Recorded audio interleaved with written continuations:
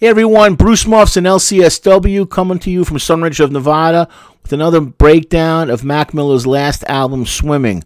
Um, I'm now going doing be doing song nine, and it's called Conversation Part One. Here we go. To me, Mac is talking to himself about himself. That's how I'm picking up on this from right away. And again, as I said from the first two we did today, actually, he everything that he's doing he's being very very very literal. And when he's saying conversation part one he's literally having a conversation about himself seeing himself and how he relates to those around him. So it's very very apt that he picked this this word to use. Now he goes like this i'm feeling good and they hate it. Blank i don't recognize these faces. He says that same stanza twice more in the song one aspect of depression is being um, angry and irritable. And what I'm gathering from him and what he's trying to say is, I finally made it, you know, kid from Pittsburgh, but I like myself.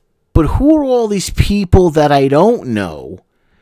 And I don't recognize anybody. I don't recognize these faces. There's no one here that's from my inner circle that I grew up with, that I'm relating to. Are they really my friends? You know, are they just really literally strangers? So it's not just, you know, Mac feeling this way, but who can you rely on in your own life you can truly rely upon them? And, you know, he's saying like this, he threw another line in there.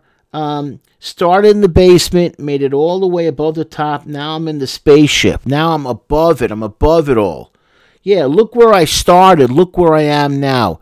I started doing this, and now I'm, I'm multi. I'm famous. I'm everything. You know, and what happens is, is that, you know, this makes you get angry. And what happens is, often we lash out at those that are really there, there for us. That's why, if you think about it, why my profession, and I deal with so many people who are single moms because only a mom is going to take the abuse that a kid's going to give out when everything goes straight to pot, everything's going south. Those single moms, they're going to be there through thick and thin. They pay a price for it, of course. They get obese, they get diabetes, they get strokes, they get heart attacks, they get hypertension, they turn to drugs and alcohol, they overeat, they make terrible choices in relationships. But when you're dealing with depression, you don't realize what your mom is going through and you don't appreciate what she's doing for you. Not just moms, it could be other people as well, but you get the gist, you get the perspective. But we lash out at those we should really be embracing. A lot of my times when I make home visits, I spend so much time trying to prop up the mother to the kids because the kids are using the mom as a punching bag, metaphorically, you know, like, you know, I'm unhappy with my life, so I'm going to make your life unhappy. And I try and say to them, you know, if your mom should pass away tomorrow, you guys are in a world of hurt. You guys are not going to be protected. There'll be new people coming into the house making decisions for you that I know you're not going to like. You know, your dad's not around, where he's kind of vacant, where he's kind of a zombie and absent. Your mom is your rock. Don't treat your rock with disrespect.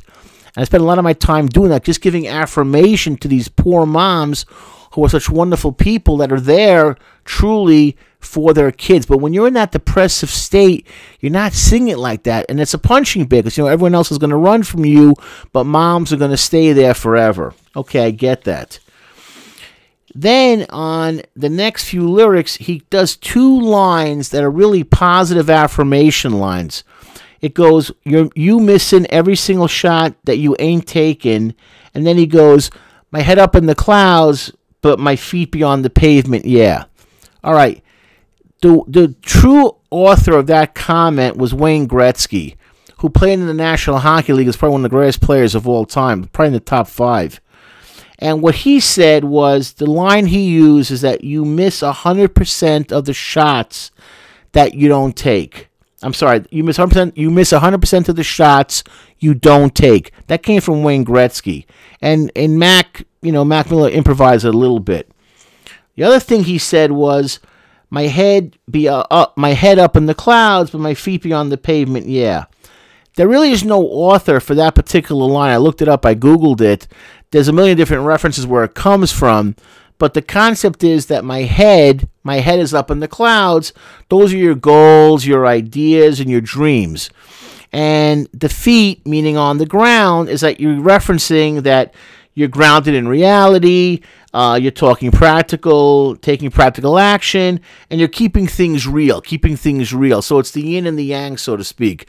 I once, I, I think I told a story before, but a million years ago, I was a student uh, living in Israel, and I there was some guys wanted to go to a city with Jewish mysticism, meet these famous rabbis who I thought were going to take advantage of them. And when this rabbi heard where they were going, there was these two guys. He said, "Bruce, do me a favor, go with these two guys to the city today when they go on the trip." I said, "Well, you know, I wasn't really planning to go, Rabbi. Why do you need me?" He goes, "Look, Bruce, their heads are in the clouds, but your feet are on the ground. I know you'll look out for them." And I went out with them that day, and then thank God I did, because one guy was going to be taken for like hundred dollars back then on something very, very sketchy and dubious. I didn't get him into. Fine. But that's the idea. Those are positive self affirmation. And that's what Mac is kind of giving it to himself these positive self affirmation comments. And then it goes like this um, My point is, with depression, what often happens is that the very people you should be close to, your family and your real friends, they get pushed aside for friends, quote, quote, that are only there for you on the way up. But when you get to the top of that roller coaster and you start going down, watch how they scatter and vanish and they're not around anymore. We're more connected on you know on, on a clinical you know perspective. We're more connected than ever before with terms of social media and gadgets and our phones and things change every year to be even more connected through everything. You know, Fitbit, you know, you can literally wear yourself online. But in survey after survey, loneliness is at an all time high for kids and for adults. We don't connect, we don't have real friends. I said this before, and I do this with like a lot of different groups. I always go like this Tell me how many true friends you really have. And 99% of the time, I get this I get one hand, and it's not even a full hand. Who are your true friends that will really be there for you? You want to have friendships that last, that go across generations? Here's a technique to think about be real with your real friends. Because real friends are real with you. There's no fluff. There's no icing. You just get right to the meal. Oh, I don't need to. I don't need to pretend with Rob or with Bruce or with Dave or with Sam or with Dewan or DeAndre. We're real. If I'm doing well, we're talking about me doing well. And if I'm doing bad, then I'm doing bad. What's the pretending for? If you're really your friend, if they're really your friend, they'll understand that. And if they can't, then they're not your friend. And this goes for white, black, brown, yellow. Even the aliens we've captured that are in Area 51, they all say the same thing when I've done some work with the military and talking to them about friendships from the planets they came from. Couldn't stand the guy back on Jupiter. A complete idiot. Liar. Talks about me behind my back. Well, I have three backs because I'm an, an, alien, but you get the idea. I don't really have a back, but you get the idea, Bruce. And I, when I've broken this down for the Air Force, they're always like stunned. They're always expecting to hear ET, you know. And when I tell them they're like everybody else, not any kind of higher consciousness, everyone's always like so depressed, like, oh God, Bruce again. But that's the truth. If you're real with your friends, they'll be real with you. If you're fake, if you don't tell the truth, if you hide things, why would they share with you? I've been astonished in my lifetime as a clinical social worker, even as a as a man, how people have said things to me and they say, you know what? I feel I can talk to you, or I, I, I consider you to be a close friend of mine, where I'm sharing this with you. It's a compliment, and I don't take that compliment lightly. And I try and give back to people that are my quote, quote, real friends and be honest with them, because otherwise, what's a friendship? A friendship that's not real is like holding grains of sand in your hand and expecting it to be able to hold on to it for more than a few minutes. You can't because it's not real. It's like grains of sand that just blow away. And that's what I want you to think about for those of you that are dealing with depression and loneliness and, you know, only relating through social media is put them down. They have a great functions. We're not arguing. I'm not anti Facebook. I'm not anti Twitter. We're YouTube, whatever. But be real with people. Because by being real with people, you're being real with yourself. And that's how you combat issues with depression. It's also the style that I use in my own therapy. I am straight up the middle, hey diddle diddle.